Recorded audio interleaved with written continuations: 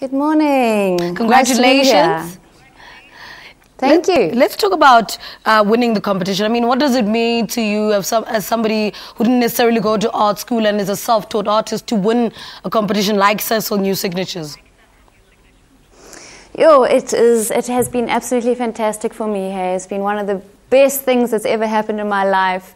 As an artist, you always question your own value. You know, in this world where money is a big deal, um, and and to be recognized like that. I live in a very isolated place, and I just plug on every day, and then just to be thrown into this world, it has been huge, and I, I feel so much more confident as an artist. Let's Fantastic. talk about the, the title of the series that you entered for the competition. It's titled The Weighed and Measured Series I Am You and Survival. I mean, what is the significance of that title? Sure, I'm glad you asked me that question. I just found um, that in this world, you're born into a certain body and you're treated as, as such. So if you're born a, a female, you're treated as a woman and you're expected to behave in a certain way. The same thing as if you're a male. If you're born black, you're expected to behave in a certain way and you're treated in a certain way. If you're white, if you're rich, if you're poor. And I find that very inhuman. You know, we are souls with bodies, we're not bodies with souls. And um, as to when we start to treat each other as if we are souls and spirits, then the world would be a completely different place. And as a female, as a mother, you know, I'm, I'm very aware of, of what, that role. Um, and so I, I, I explore this a lot in my artworks value. It's all about value in this world and the value structures we place on each other. What has been the So the- highlight of embarking on this journey of art? And who's, who was that one person that said to you, you know what, Elizabeth, you're actually very good at this art thing? Sure, that's also a great question. Um, that one person is Bobby Goodall, Yeah. and I met him 10 years ago, and I made a little wax sculpture, and I said, check this out. This was like the first thing that I made, and he said, wow, that is amazing. And somehow we got our hands on some money, and he built me a beautiful studio. So that's Bobby Goodall, and another um, man is Kim Goodwin of the, of the Goodwin Foundry in Lidgetton. Sure, if it weren't for him, I, I would not have made these pieces, and the same with Bob, Bobby Goodall. Um, he's my foundry man, and when I first started, he said, Sure, I really like your work. And he wanted to cast my work into bronze, and he gave me the deal that I could pay him once I had sold my work. So that just gave me a huge break. And yeah, if it weren't for those two people, I promise you I wouldn't be here today. Uh-huh.